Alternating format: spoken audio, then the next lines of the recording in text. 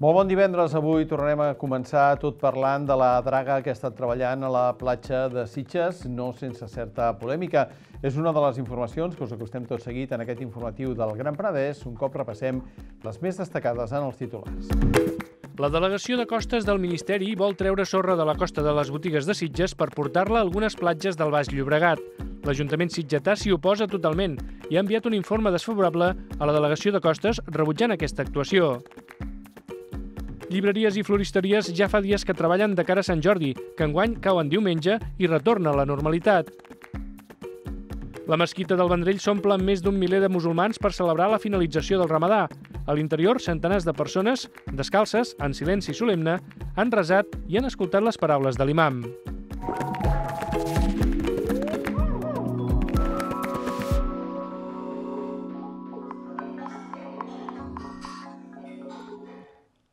La draga podria tornar a les costes de Sitges en les properes setmanes, en aquest cas no per aportar sorra a les platges, sinó per treure-la del fons marí davant la platja de les botigues. L'Ajuntament de Sitges ja ha enviat un informe desfavorable a la delegació de costes del Ministeri rebutjant aquesta actuació, al·legant motius mediambientals.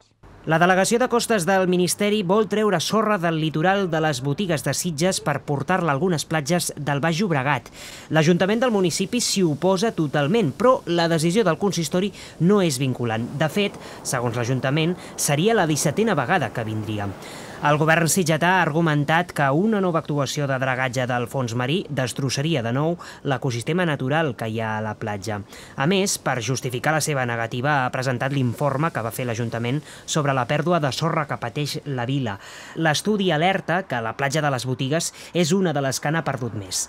Un dels motius d'això, segons explica la regidoria de platges, és justament l'actuació de la draga dels darrers anys, perquè cada cop que ve s'emporta els sediments del fons marí. Van fer tot un, un informe informe bastant complet per, per denunciar o per, per indicar que no estaven conformes en què actués aquesta draga, que se'ns emportés la sorra, perquè ja teníem una problemàtica que volem que la mateixa dinàmica del litoral la vagi portant cap a les nostres platges i que no actués a, a aquest any.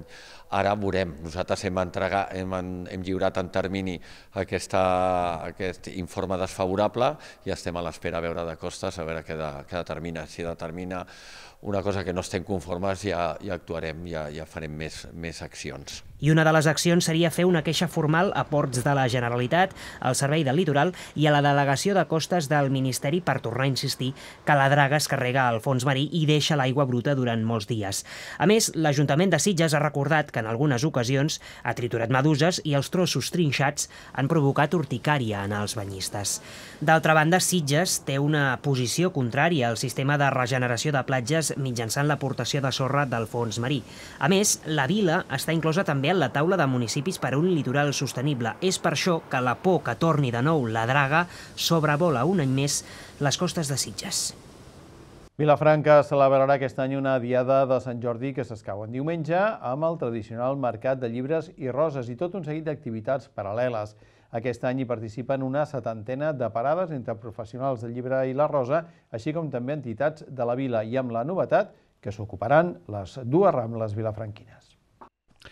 Com a novetat, el mercat s'ubicarà entre la Rambla de Sant Francesc i la Rambla de Nostra Senyora. L'objectiu d'aquesta ampliació és esponjar el mercat de llibres i roses per tal de fer-lo més transitable i reduir les aglomeracions. Es tallarà la calçada de la Rambla de Nostra Senyora al trànsit i, per tant, es podrà passejar tranquil·lament entre les dues Rambles. A continuació del mercat de llibres i roses hi haurà el mercat d'artesania de Sant Jordi amb aproximadament 40 parades de 12 a 2 del migdia i de 6 de la tarda a 8 del vespre. El col·lectiu oferirà tallers de d'Artesania de Sant Jordi a la Rambla de Nostra Senyora. A la plaça del Penedès i com a annex entre les dues Rambles s'hi ubicaran actes tradicionals de la Diada, com l'actuació castellera, un concert familiar i la ballada de sardanes. Les llibreries ja fa setmanes que treballen, rebent les comandes que han fet de cara a Sant Jordi, com ens comenta Quim Jobert de la llibreria La Cultural. Són, en el seu cas, entre 4.000 o 5.000 llibres que tenen previst vendre aquests dies previs i el mateix, diumenge. Això els ha portat a haver d'ocupar el màxim d'espais de què disposen per anar apilant els llibres. Ja durant tota aquesta setmana han tingut molt de moviment. Tots aquests dies previs ja són de molta, de molta demanda, de molta demanda. Eh, la gent, molta gent ja no s'espera el dia de Sant Jordi perquè és un dia, és un dia que és, un, que és, un, que és bastant col·lapsador i, i que, per tant, els llibres bàsics els venen, a, els venen a, demanar ja, a encarregar abans, i aquell dia jo crec que és més recreatiu, i és una compra més recreativa. Ah, mira, si el trobes i en veus un que, que t'ha fet gràcia, el que sigui, però molta gent mm, ens, ve, ens ve a visitar amb, amb molta anticipació, moltes comandes que l'estem rebent també per correu electrònic, per telèfon. Per tant, estem treballant ja molt intensament en previsió de, del Sant Jordi. També des de l'Odissea fa dies que ja estan amb la mirada posada en Sant Jordi. Sílvia Mir apunta que al voltant d'aquesta data es concentra entre el 25 i el 30% de les vendes de tot l'any calculat, calculat, sobre un 25, un 30% de, de les vendes de, de tot l'any. Sant Jordi és un dia molt important, però no només el dia de Sant Jordi, eh, sinó tota la setmana. Ja hem tingut una setmana, avui ho hem notat ja que la gent s'ha despertat i ha dit, ostres, diumenge és Sant Jordi, no? I hi ha molta gent que ja et fa reserves o t'intenten carregar llibres a veure si poden arribar el divendres per tenir-los el diumenge. Ja, ja comença a haver-hi ambient de Sant Jordi, sí. Les comandes les han de fer amb molta previsió per mirar d'assegurar-se tenir suficients volums dels títols que poden ser més demandats. En ambdós casos ens han apuntat el llibre de Xavier Bosch, 32 de març, com a un dels que es pot vendre més. Com ja ve també sent una tradició, autors i autores del Penedès han estat convidats a celebrar aquesta diada emblemàtica del llibre amb la instal·lació d'una carpa on podran dedicar el llibre als seus lectors. La ubicació de la parada serà a l'inici de la Rambla de Sant Francesc. L'altra pota important de la festa és la rosa i també les floristeries. Ja fa dies que hi estan treballant. Des de l'art topiari, per exemple, han instal·lat un gran drac a la façana per tal de fer més ambient. La Neus Sagarra apunta que la rosa individual i vermella és sempre la més venuda, tot i que cada vegada hi ha més oferta i per regalar es busca també alguna composició més elaborada. A veure, en principi ja fa uns anys cap aquí que el que s'està fent eh, és que la gent ja va amb molta previsió Eh, després també ha que dir que el dia abans ja es ven moltíssim, perquè doncs, bueno, la gent al trobar-se que hi ha llargues cues a tot arreu, doncs el que fan és intentar doncs, bueno, mm, no tenir d'esperar tant i llavors el dia abans ja et venen a recollir o encàrrecs que ja prèviament han fet en dies anteriors o bé que aleshores doncs, eh, doncs això, no? Mm, la venen a buscar el, el dia dissabte, en aquest cas serà, per poder doncs, eh, bueno, doncs això, no? tenir-la ja guardadeta a casa i l'endemà sorpresa per la seva parella. La jornada de Sant Jordi es durà a terme doncs, diumenge entre les 10 del matí i les 9 del vespre i es comptarà amb un major nombre de professionals a les parades respecte d'anys anteriors. I tot parlant de Sant Jordi, el Garraf preveu que la diada sigui multitudinària i vol oblidar la tempesta que l'any passat va aigualir el dia de Sant Jordi. D'entrada, el fet que aquest any sigui festiu ha fet que la demanda per instal·lar parades s'hagi disparat respecte a la participació de l'any passat. El Garraf es prepara per viure una diada de Sant Jordi que s'espera massiva en caure en diumenge. A Vilanova i la Geltrú hi haurà un total de 160 parades que han demanat permís per ubicar-se sobretot a la Rambla principal. Són 35 més de les que van sol·licitar-ho l'any passat, que va estar marcat pel temporal de vent i pluja que a la capital del Garraf va afectar especialment a migdia i tarda. A Vilanova i la Geltrú hi haurà el Mercat d'Artesania que s'ubicarà a la plaça de les Neus. A Sitges també hi haurà un augment molt significatiu de parades per aquest Sant Jordi. En total han demanat permís un total de 43 entitats i botigues per situar-se a la Fira de Llibres i Roses del Passeig de la Ribera, que estarà obert de 10 del matí a dos quarts de 9 del vespre. Són 13 parades més de les que van sol·licitar permís l'any passat. A Ribes hi ha una de les novetats de la jornada, perquè la tradicional Fira de Sant Jordi trasllada la seva ubicació. Habitualment es fa a la plaça Maria Mercè Marçal per aprofitar que en aquella plaça hi ha la Biblioteca Manuel de Pedroló, però aquest cop en caure en diumenge, s'ha traslladat a la cèntrica plaça Mercè. A les Roquetes, la Fira del Llibre i la Rosa es manté, com sempre, a la plaça Llobregat. I encara us volem recordar també que les llibreries de Vilanova ja fa dies que noten un augment de moviment als seus establiments. Molts clients han començat a comprar ja els llibres per Sant Jordi, alhora que les editorials encara els hi estan fent arribar algunes novetats en una setmana intensa de preparatius de cara a una de les diades de més vendes de l'any. Ens hem acostat a una llibreria per tal de saber com viuen aquestes jornades prèvies a Sant Jordi i per saber també quins preveuen que seran els llibres més venuts. Dies de molta activitat aquests previs a la Diada de Sant Jordi a les llibreries. En aquest establiment, per exemple, afirmen que durant aquesta setmana ja han estat moltes les persones que han començat a comprar llibres per Sant Jordi, en previsió per tenir-ho ja tot gest pel dia 23 d'abril. I està havent molt de moviment, es nota que potser la gent al cap de setmana potser volen marxar i tot això i ja estan com fent les compres prèvies ara. No recordo que hi hagués, mm, per dir-ho així, 3 o 4 dies abans de Sant Jordi tanta gent. D'allò de dir, hi ha gent, perquè òbviament eh, hi ha gent que és això, que el dia de Sant Jordi o van a Barcelona o van a això, llavors aprofiten aquí per... Ja tens el llibre i així després si marxo ja, ja ho tinc comprat. Però allò de dir tanta, tanta gent fent el regal de Sant Jordi, això jo crec que no. Normalment jo soc molt d'anar a última hora. I avui, bueno, aquest any he decidit una miqueta abans, uns dies abans. I ja tenia pensat, jo li vaig comprar el de Javier Castillo l'any passat, li va agradar molt així, tipus d'intriga, llavors buscava una mica d'aquest estil. A vegades no, no compro res fins al mateix dia i llavors vas, i vas mirant el que hi ha a la Rambla i escolleixes allà mateix i altres vegades, si tens ja una idea, diguéssim, doncs ja vas a buscar-la, no sigui que no la trobis. La novel·la de ficció en català és de moment el gènere més venut aquests dies, a qui acompanya també la negra. A hores d'ara, i segons les demandes dels lectors, alguns llibres ja apunten a convertir-se en els best-sellers d'aquest Sant Jordi, alguns d'ells publicats ara fa ben poques setmanes. Xavier Bosch, dic aquest és un clàssic, és un homenatge a les àvies que passen al París de la Segona Guerra Mundial. És la història d'una àvia i de la seva neta. Maggie Farrell, que l'any passat ja ho va patar amb Hamnet, i aquest any amb el retrat d'un matrimoni explica la història de la Lucrecia dels Medici, i és la història d'ella que la van obligar a casar-se i tot com va anar com a juvenil, que a mi m'agrada molt llegir el juvenil, el de quan les dones eren dracs, més així de fantasia i això, però és un llibre molt feminista, de remarcant de perquè les dones en els anys 50 d'Amèrica estaven com estaven que eren més oprimides. D'aquí, de la casa, per dir-ho així, de, de Vilanova, tenim el de Guillem Albà, que també serà un dels èxits, el de D'aquí no marxaré mai, que és la història del seu avi, bàsicament. Llavors, que també es va fer la presentació no fa massa i és això, és un llibre que està molt ben escrit, de la manera així més distret. Les llibreries esperen encara aquests dies que els acabin d'arribar les novetats editorials per poder tenir-les totes a punt per diumenge, Diada de Sant Jordi.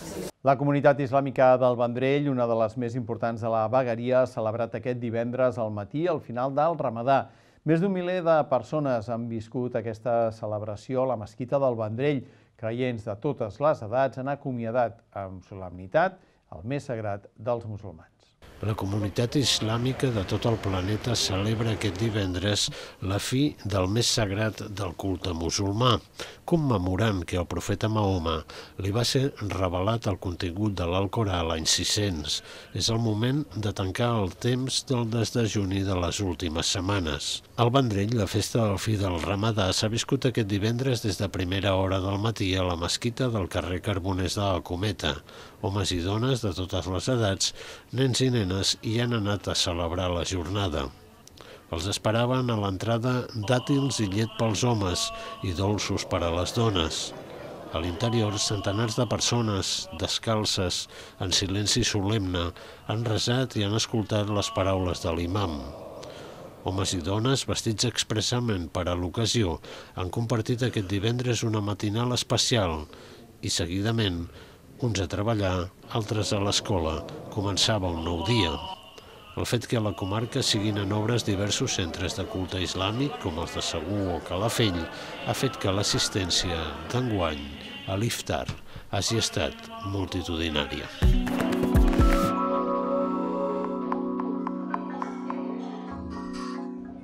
En el cas de Vilafranca, l'Ajuntament ha contractat una empresa especialitzada per al control integral de la vespa velutina o vespa asiàtica. En aquest marc i com a prevenció, durant els darrers dies han col·locat una trentena de paranys per la captura selectiva de reines fundadores amb l'objectiu de reduir la densitat de nius. Cada reina suposa un possible niu que acabarà tenint milers d'obreres. Això és una trampa que el que fa és capturar les reines fundadores de vespa asiàtica. Les reines fundadores són les reines que individualment ara es desperten de la hibernació i cada una d'elles intenta fundar un niu, eh, començant a pondre uns ous que, dels quals surten les larves, surten les primeres obreres i aquí comença tot el cicle que després doncs, veieu aquells supernius que, que es posen dalt dels arbres o en llocs elevats que són molt grossos. No? Aquells nius tan grans que veiem al mes de setembre, octubre, novembre, comencen ara, és a dir, el cicle comença ara amb un petitet niu de la mida d'una pilota de tennis que el funda una reina ella sola. Els nius embrionaris es fan en llocs protegits, com per exemple cornisses d'edificis, i és llavors quan poden entrar més en contacte amb les persones. Més tard, el creixement de la colònia fa que les obreres busquin un segon emplaçament, sovint en capçades d'arbres, per construir un vesper secundari que pot assolir grans dimensions. Perquè, clar, la, la vespa, en aquest primer niu que fa, el fa protegit en un lloc, i moltes vegades això són en edificis, no? malauradament. Llavors el que passa amb aquests nius embrionaris que dèiem és que moltes vegades quan ja tenen la mida d'una pilota de futbol o el que sigui una mica més gran de cara a l'estiu, abandonen aquest niu i el, el, és a dir, es trasllada l'activitat en un lloc elevat. I és quan ja construeixen aquests nius secundaris, abandonant l'activitat en, el, en els embrionaris, i ja són aquests nius alts que veiem a, a la tardor o finals d'estiu. A Sant Sadurní de Noia també s'està fent un control per evitar l'expansió de la vespa velutina. L'ADF, en coordinació amb l'Ajuntament, fa un mes i mig que col·loca trampes casolanes elaborades amb els escolars del municipi a diversos punts dels afores. En total, l'ADF ha col·locat 60 trampes que s'uneixen a les que s'han instal·lat dins el nucli per part d'una empresa especialitzada contractada per l'Ajuntament, a més de les que han posat també alguns voluntaris. Des de l'ADF calculen que ja han capturat unes 950 reines a Sant Sadurní i alguns punts de Sobirats i Torrelavit. A les trampes hi posen un líquid casolà fet amb aigua, sucre, suc de fruita, vi blanc, cervesa negra i llevat, que trau bàsicament les vespes asiàtiques important el, la fórmula que es posa dins el, el, el, les trampes, que fa que bueno, realment vagin, només la seleccioni bastant i que vagin la, les reines, i després també el, el lloc de col·locar el tema de les, de les trampes també és important. S'han de col·locar, per almenys per l'experiència que jo hi he agafat, eh?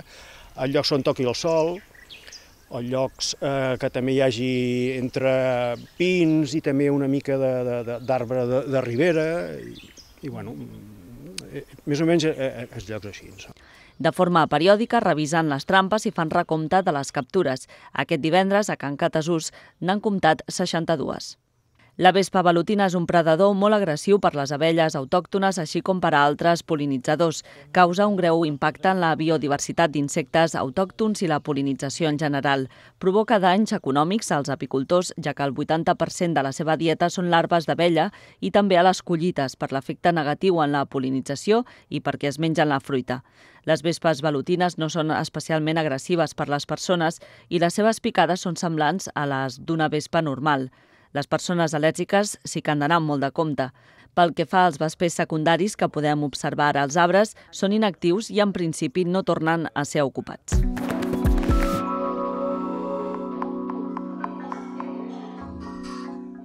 El Servei Meteorològic de Catalunya disposa de gairebé 200 estacions meteorològiques automàtiques repartides pel país. La darrera que s'ha incorporat a la xarxa és la de Vilanova i la Geltrú, que ja està operativa. És, de fet, la tercera estació d'aquest tipus de la comarca del Garraf i se suma a les de Canyelles i Sant Pere de Ribes. Aquesta és una aposta del Servei Meteorològic de Catalunya per posar aquestes instal·lacions a capitals de comarca. L'Ajuntament vilanoví també hi anava al darrere des de fa temps és la nova estació meteorològica automàtica que el Servei Meteorològic de Catalunya ha instal·lat a Vilanova i la Geltrú. Amb aquesta ja en té 189 repartides arreu del territori.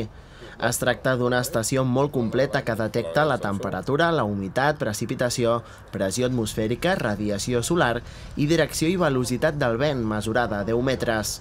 Unes dades que serveixen també de referència en episodis meteorològics extrems.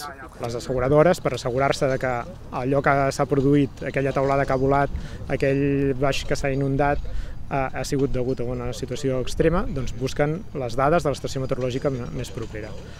Llavors, el fet de tenir una estació meteorològica dins de Vilanova us servirà de referència per tota la població de Vilanova i del Garraf mm, que estigui proper a aquesta estació per en cas de que hi hagi alguna circumstància d'aquestes poder uh, utilitzar aquestes dades. Portava molt de temps amb aquest projecte de poder tenir una estació meteorològica homologada de la Generalitat, molt de temps bàsicament per una qüestió molt important, no? que estem en emergència climàtica i necessitem tenir dades eh, en, en molts llocs i especialment eh, doncs, homologades com aquestes doncs, per poder fer un seguiment estricte de què està passant amb el clima a nivell local. No?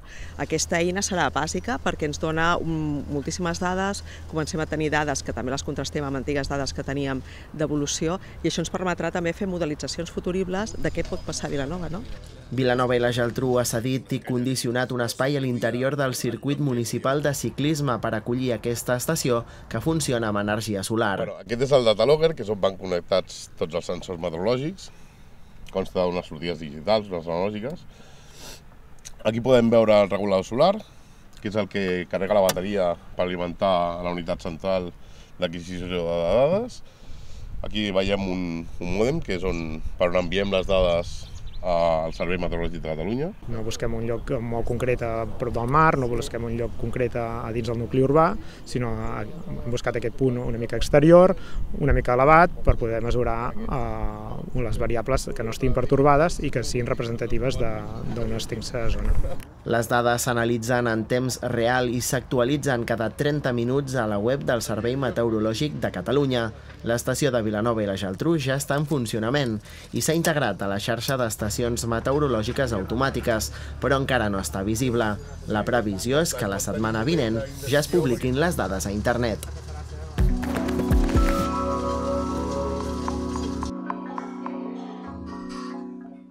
Aquesta setmana s'ha presentat a Vilafranca el Dansòmetre, que celebra la seva sisena edició, amb dansa al carrer i espectacles professionals en diferents espais de la capital de l'Alt Penedès. El 29 d'abril es commemora el Dia Internacional de la Dansa i des de fa sis anys Vilafranca du a terme el Festival Dansòmetre. Aquest any tindrà lloc els dies 27, 28 i 29 d'abril i aplegarà el Dia de la Dansa al carrer per part de les escoles i els espectacles professionals d'aquesta disciplina que se celebren a Vilafranca.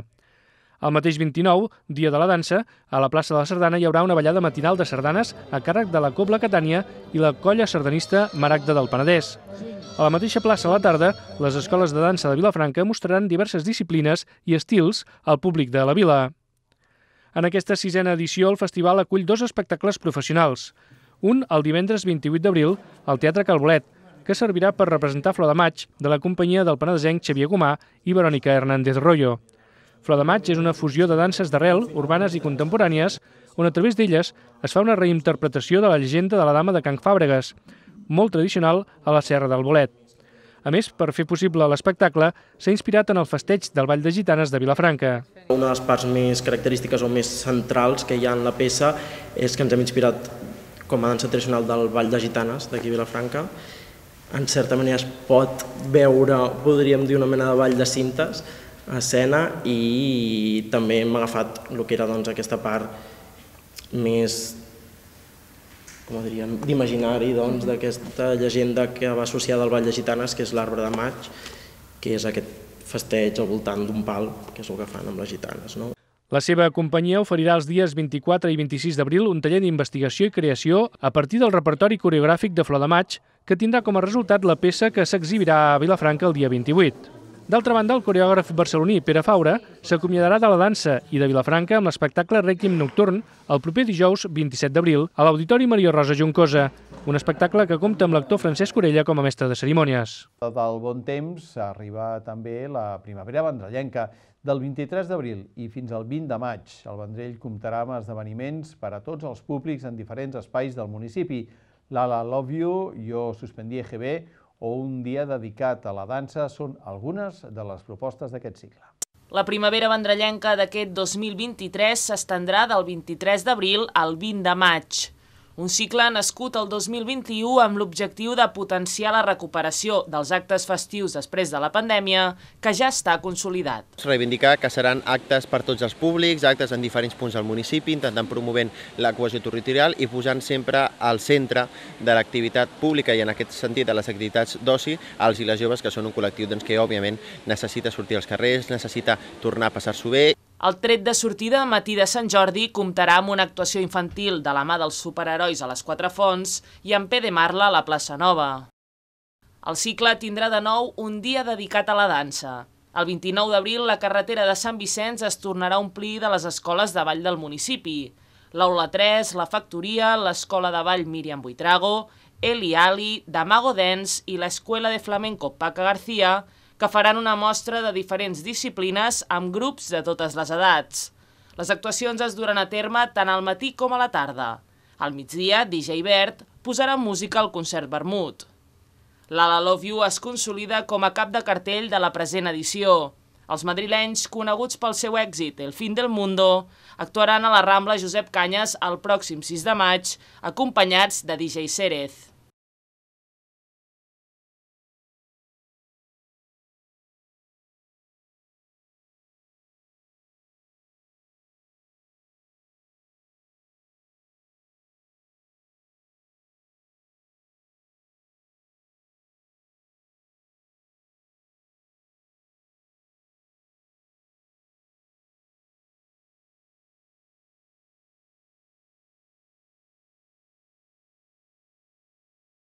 L'aparcament del Pèlag serà l'escenari del Tardeo. Marc Batet amenitzarà una jornada que s'estendrà de les 7 de la tarda a les 10 de la nit i que precedirà el concert del grup de versions Wassa Corporation i el DJ Ferry Lip el 13 de maig.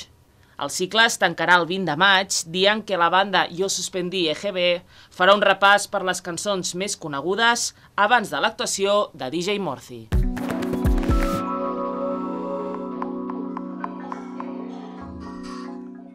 I avui acabarem tot parlant d'esports, ja que el Vilafranca rep l'Hospitalet aquest diumenge per intentar signar la seva permanència en la última jornada de Lliga. Aquest diumenge a les 12 del migdia el Futbol Club Vilafranca juga el seu futur a la tercera divisió en l'últim partit de la temporada.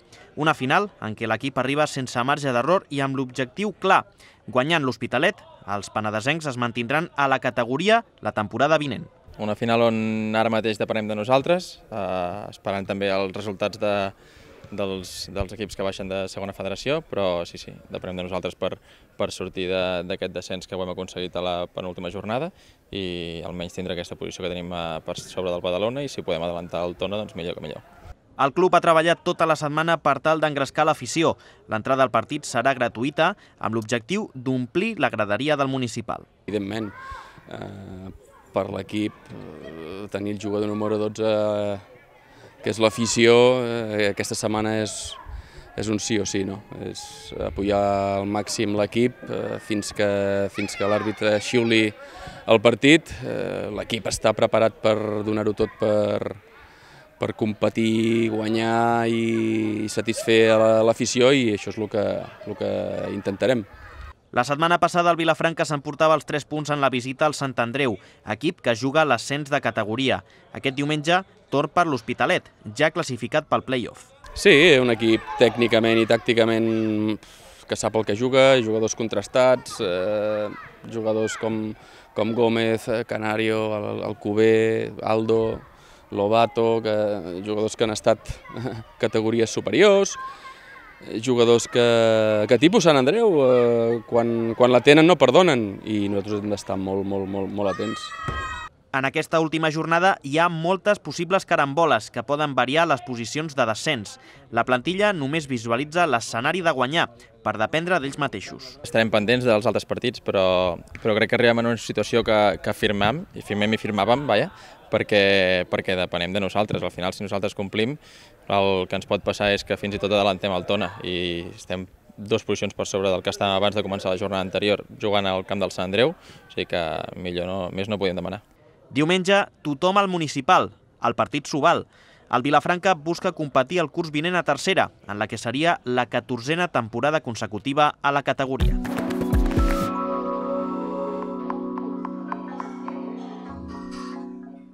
Amb aquesta informació hem arribat al final per avui i també per aquesta setmana. Tornarem la propera. Esperem que tinguin un bon cap de setmana i gaudeixin de Sant Jordi. Ens veiem dilluns.